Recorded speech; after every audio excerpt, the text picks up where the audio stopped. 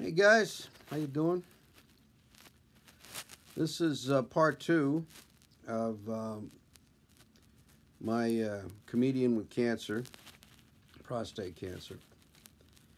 Well, I had the MRI, and uh, they called me up. Doctor, uh, you know, uh, Grim Reaper called me up. Doctor Schmuckenbalkum called me up. This is Mr. Bacon. We have to have you come in and do a biopsy. So I said, okay, fine. So here's the thing about the biopsy, guys. I go in and, um, you know, put, put the Johnny on, go through all that crap. I sit down in this room and I wait and I wait and I wait. And then this young guy comes in. And this hospital I'm in is a teaching hospital Dartmouth Hitchcock Hospital in Hanover, New Hampshire, which is a, a great hospital. It's great. But it's a teaching hospital because it's connected to Dartmouth College. So in walks this very young guy, right? He's a doctor, but he's an intern. He walks in, and the only thing I can think of as a comedian is, you know, it's Halloween night and there's a knock on the door, and here's this little kid dressed up as a doctor. I mean, I swear to God, I was waiting for him to go in the corner and start playing with blocks. I mean, it was just unbelievable. And he sits down. He says, "Hi, Mr. Bacon. I'm Joshua, and uh, I'm here to prep you for your biopsy with Dr. Schmockenblocken there." I go, "Okay. Uh, so what's going to happen?" "Oh, well, we're going to put you in there, and, and we're going to put a we're gonna put a tube in your ass and uh, we're gonna give you a local and then we're gonna punch holes in you and we're gonna take it. I, I, now i'm making it sound terrible but uh, you know really honestly here's the deal. I'm telling you like it is guys. I don't i'm not here to scare you. But he scared the crap out of me. Uh, no pun intended. Uh, so he he's telling me how they're going to do this and uh, that it won't be bad. And of course, they all say that. They they say you're going to feel a little pinch. You know, I love that line doctors use. You're going to feel a little pinch. I would like to be standing in front of some guy I hate, and uh, and say to him before I punch him in the face, "You're going to feel a little pinch." So you know, I, I take that with a grain of salt. So anyway, he tells I go, well, what are what are the are there any complications with this? Oh, well, there could be. Well, what are they? Oh, well, um, you know, you're going to have a little bleeding, you know, uh, when you urinate afterwards, but that's normal. But if it's too much, um, you'll have to come and see us. Okay. Oh, yeah, and if there if there's a clot or a blockage and you can't urinate, you got to come and see us. Okay, well, what do you do when I come and see you? Oh, well, we put a tube in your penis so you can pee. Okay. So now I'm horrified. She says, so I'll be right back and we'll bring you in.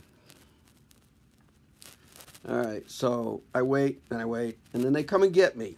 Grim Reaper's in there waiting with three other young guys that look like they're dressed up for Halloween too. And they put me on my side on this table, and I'm laying there with my ass hanging out while they talk about football. Yeah, did you see that game last night? I'm not kidding you. And um, so I'm laying there and I'm a little nervous. And the, and the, the Dr. Hawkins says, oh, all right, Mr. Bacon, we're going to, uh, you're going to feel a little pinch. And we're going to put a, a tube in you. We're going to give you your local. And, and don't, don't, don't be afraid. Don't be nervous. And I says, well, I'm not afraid, but my ass is scared to death, buddy. And they all laughed, which is probably not a good idea to make them laugh when they're going to shove stuff in you. I keep saying this to myself, but I can't help myself. So they they put this tube in me, and I felt the local hardly at all, guys. Yeah, I hardly felt it, honestly. That's the little shot they give you. And they waited a couple minutes, and then they put this uh, tube in me that goes into the area it needs to go into where the cancer is that they found in the MRI, the little patch of cancer there.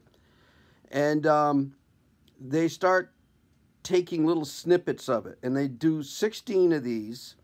and they, he told me they do them in a grid, and um, it it felt like getting snapped with a rubber band, but not bad. So it wasn't intolerable at all. It was not bad at all. I was actually quite surprised.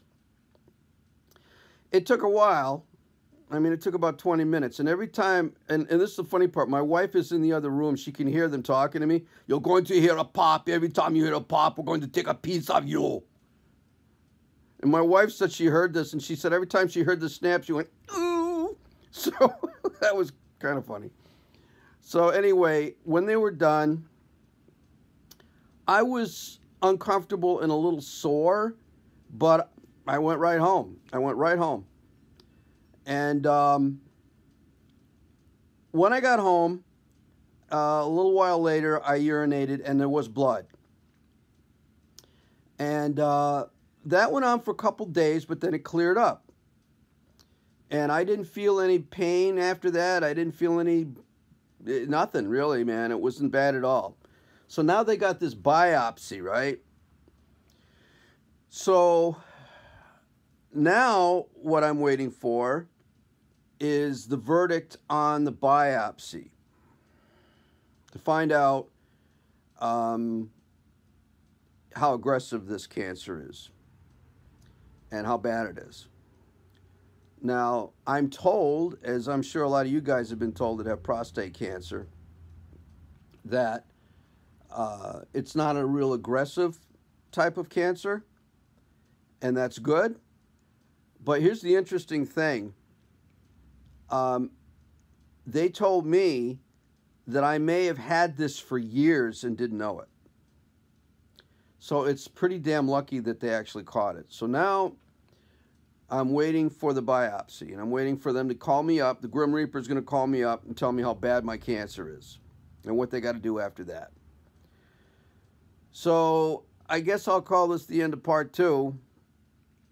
And um, they're uh, going to let me know. And when they do, guys, um, I'll see you next week and I'll tell you what's going on, man.